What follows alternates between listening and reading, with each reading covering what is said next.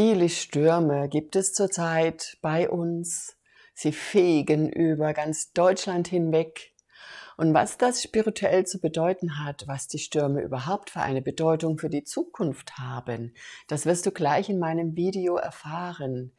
Bringt vielleicht der Sturm eine neue Klarheit oder sogar eine neue Wahrheit zu uns? Ja, gleich erfährst du mehr.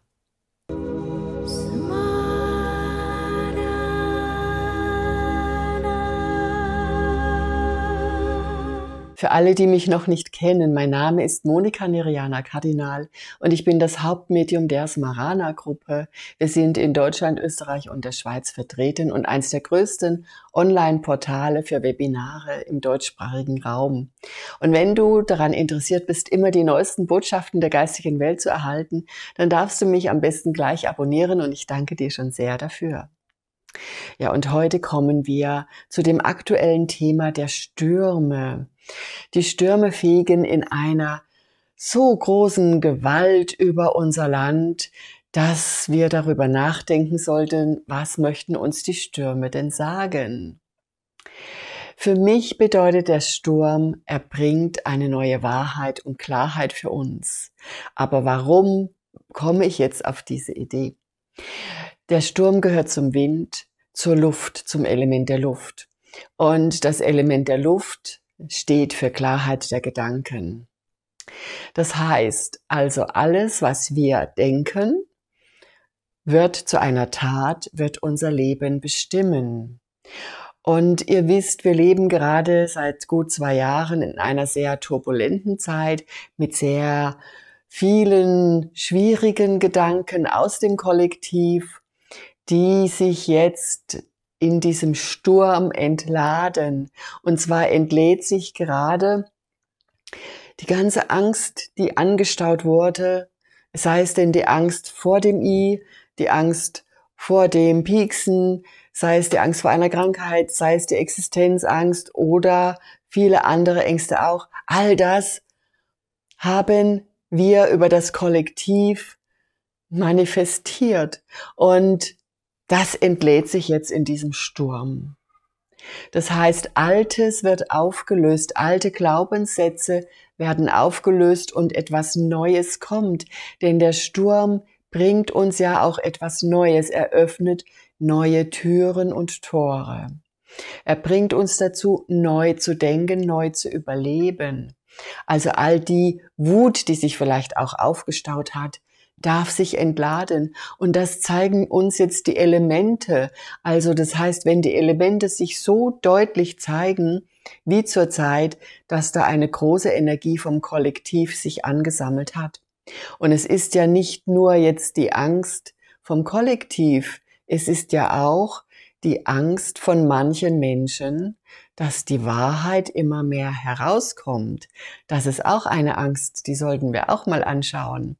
Denn wenn man die ganze Zeit lügt oder gelogen hat und es jetzt auf einmal nicht mehr geht, weil nämlich wir, wir, das Kollektiv, nicht mehr bereit sind, all das zu glauben, was uns erzählt wird, dann ist da eine große Änderung auf einmal in Fahrt. Die Stürme zeigen es uns. Die Stürme sind ein Anzeichen dafür, dass eine große Veränderung stattfindet. Und diejenigen, die immer gelogen haben, die merken, dass etwas nicht stimmt, dass sie so nicht weiterkommen, dass sie etwas ändern müssen. Und ihr kennt ja den Spruch, wer einmal lügt, dem glaubt man nicht mehr. Das ist halt ein Problem. Für diejenigen Menschen, für uns nicht so sehr, weil wir begonnen haben, mehr zu hinterfragen. Also der Sturm der Wahrheit fegt über Deutschland. Es wird aufgedeckt, was versteckt wurde. Es kommt immer mehr zum Vorschein. Und wie das nun mal so ist, bevor so ein Sturm entstehen kann, beginnt alles im Feinstofflichen. Also das, was wir denken, das habe ich vorhin gesagt, das, was du denkst, wird Deine Wirklichkeit wird eine Tat, ein Wort, eine Tat wird dann Realität. Und dieser Kampf zwischen Gut und Böse, all das, diese Energie, die entlädt sich über den Sturm.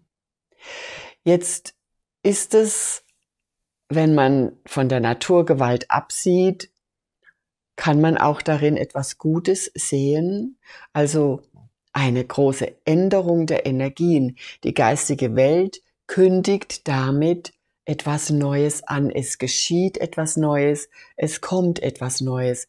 Natürlich möchte ich jetzt an dieser Stelle auch sagen, all die Menschen, die unter dem Sturm gelitten haben oder die viele Probleme hatten, die vielleicht auch ja gestorben sind. Ich habe das vollste Mitgefühl und Verständnis dafür. Es ist eine schwere Situation. Und ich wünsche auch den Menschen alles, alles Gute und dass es wirklich auch besser wieder wird und auch für jeden Menschen, der jetzt durch den Sturm vielleicht Hab und Gut verloren hat oder große äh, Dinge im Garten oder am Haus kaputt gegangen sind. Ich wünsche euch ganz viel Kraft, dass ihr das schafft, damit es auch bei euch weitergehen kann.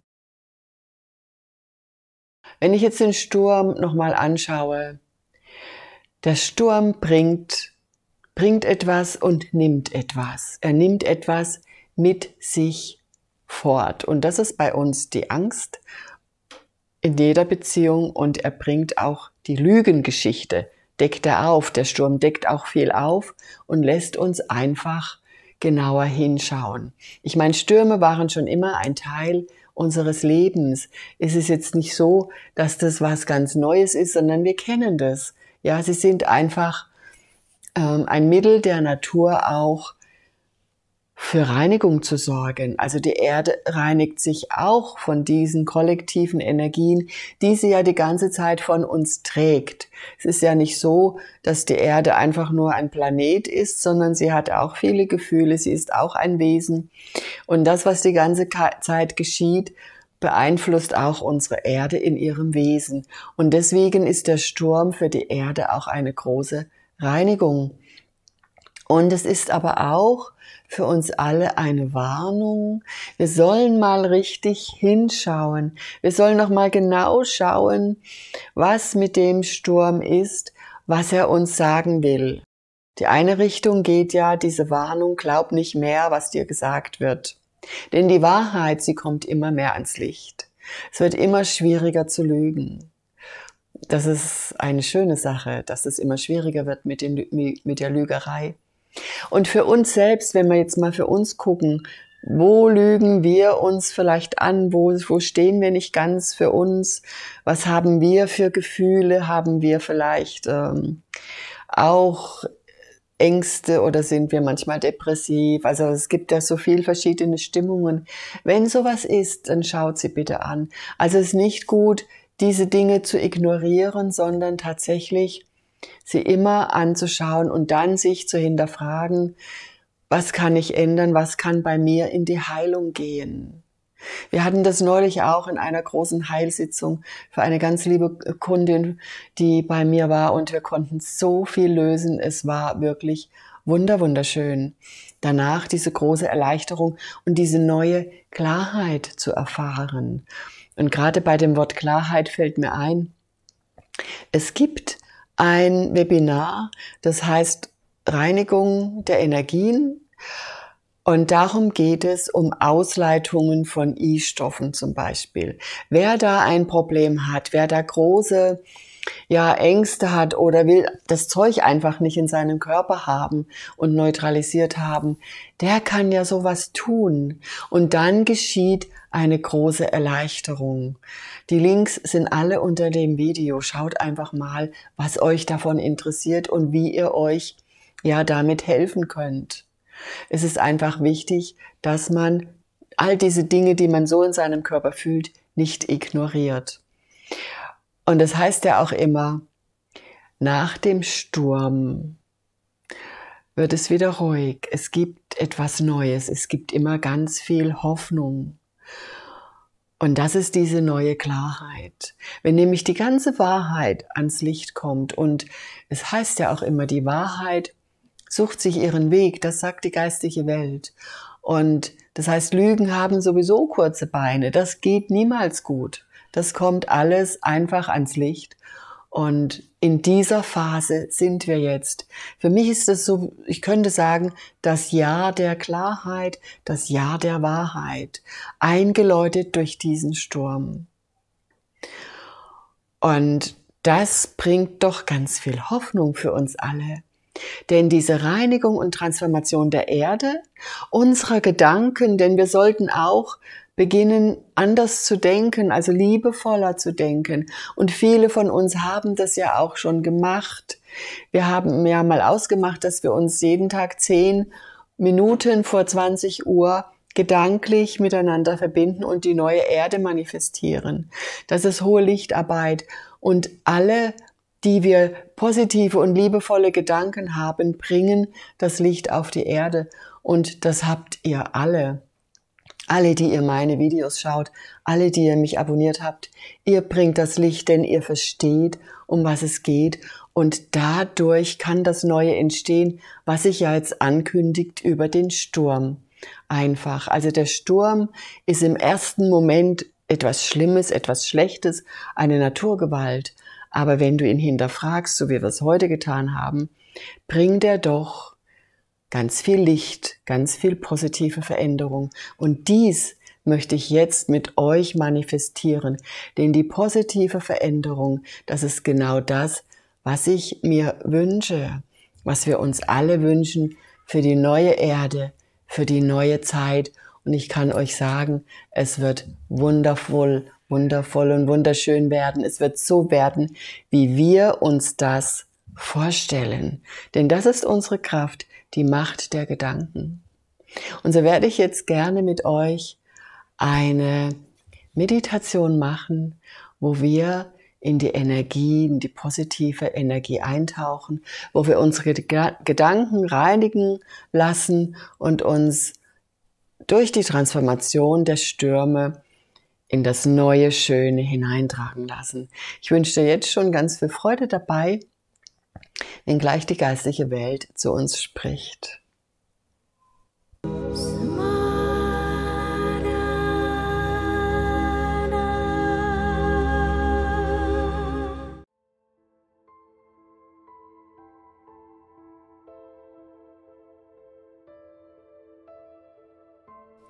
Smarana, liebes Menschenkind, liebe Menschenfamilie.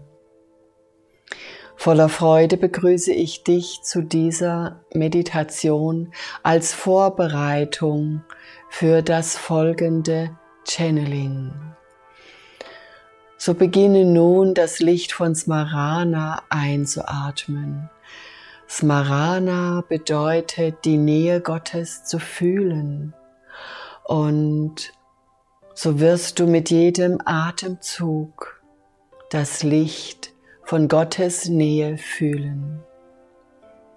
Gott ist bei dir und er wird uns heute begleiten mit seiner Liebe und mit seinem Licht bei der Botschaft, die wir gleich empfangen werden. Versuche du in dieser wundervollen Smarana-Energie zu bleiben und lass dich einfach tragen. Denn alles, was wichtig für dich ist, wird zu dir kommen.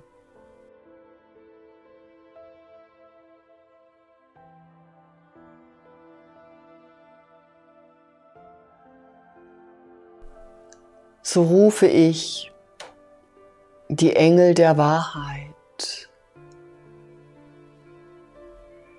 Und schon strömt ein das helle Licht der Wahrheit, das leuchtende Licht des Vertrauens und der Klarheit. Wir sind die Engel der Wahrheit welche heute zu dir sprechen. Und wir beobachten all das, was geschieht auf der Erde mit großer Aufmerksamkeit. So möchten wir dich, lieber Mensch, heute unterstützen, in deiner Klarheit klarer zu werden.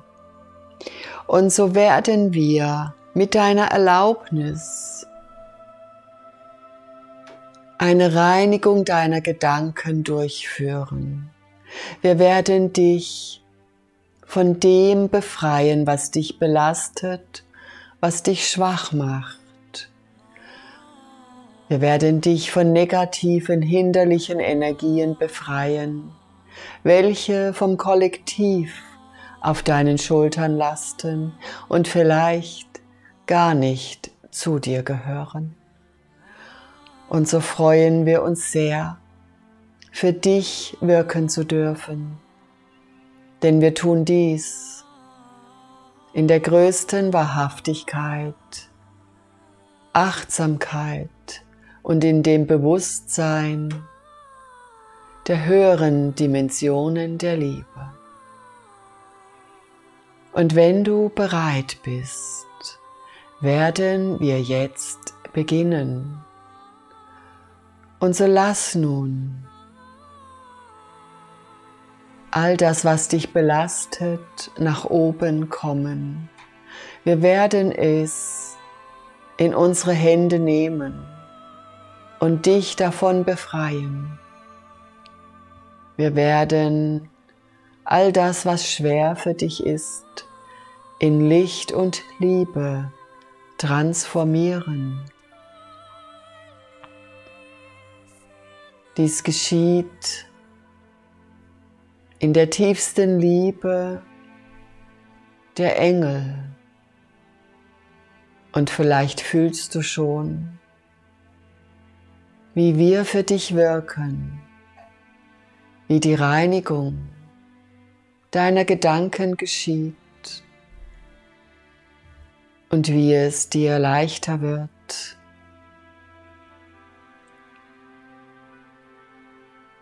Wie du fühlst, wie die Last von dir abfällt, welche du getragen hast.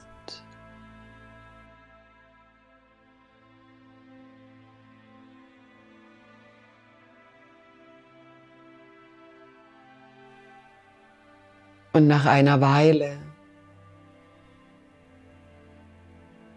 wenn die Reinigung vollzogen wurde, führen wir dich in deinen Seelengarten. Denn in deinem Seelengarten befindet sich ein wunderschöner Platz. Und wir sind sicher, dass du diesen Platz finden wirst. Denn deine Seele, sie wird dich führen. Und so stehst du schon direkt vor diesem Platz. Es kann sein, ein, ein Berg, eine Anhöhe, ein Riff, ein Aussichtsturm. Es ist auf jeden Fall etwas Hohes, wo du ganz oben drauf stehst. Und jetzt in diesem Moment fließen die Energien der Klarheit zu dir ein, denn du wurdest ja gereinigt. Dein Geist ist frei so fließt die Klarheit durch deine Gedanken, durch dein Herz und lässt dich sicher sein, lässt dich wissen und fühlen, was für dich richtig ist. Vielleicht empfängst du jetzt Bilder und Visionen deiner Seele dann nimm dir ein wenig Zeit und genieße all das, was dir jetzt gezeigt wird. Es sind die Bilder deiner Seele. Es ist deine eigene Wahrheit, die du jetzt in diesem Moment spürst, welche dein Herz öffnet und deine Seele, sie lächelt, sie freut sich, denn je klarer deine Gedanken sind, umso leichter kann sie dich durch dein Leben führen. Und so genieße diese Energie, die wir dir schenken, aus großer Freude schenken.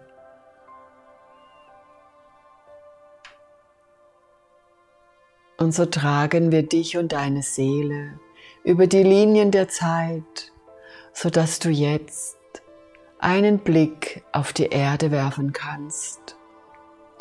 Deine geliebte Erde, betrachte sie. Betrachte sie mit deiner neuen Klarheit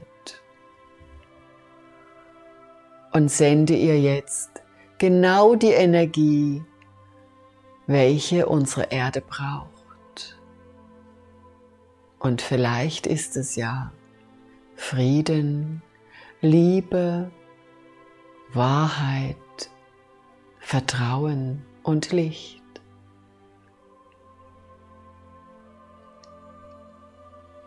So schwebe noch ein wenig über den Wolken in der Freiheit der unbegrenzten Freiheit deines Bewusstseins und erkenne, dass du ein Teil vom Großen und Ganzen bist, dass die vollkommene Liebe aus der Schöpferkraft bei dir ist und fühle, wie du so unendlich geliebt wirst. Wenn wir dich jetzt sanft und sicher zurück zu dir in deine Dimension hineinbringen, in dein Zuhause. Dort angekommen spürst du, wie dein Kopf ganz klar geworden ist. Du spürst eine neue Freiheit in deinen Gedanken und eine große Leichtigkeit. So verabschieden wir uns von dir voller Liebe und danken dir für deine Aufmerksamkeit. Und du kommst in deiner eigenen Geschwindigkeit wieder in dein Hier und Jetzt zurück, bist wieder ganz da, bewegst Hände und Füße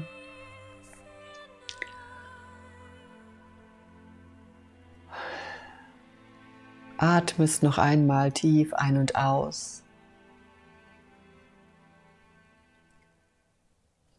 Und fühlst diese wundervolle neue Freiheit in dir. Danke euch sehr,